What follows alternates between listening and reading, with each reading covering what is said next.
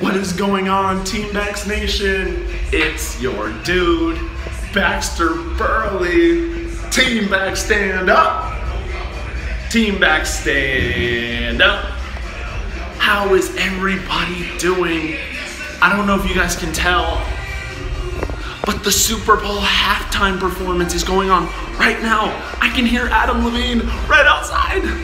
But I just wanted to give you guys a halftime update. The score is 3 nothing New England. Pats Nation, we're doing a great job, but we gotta get in the end zone.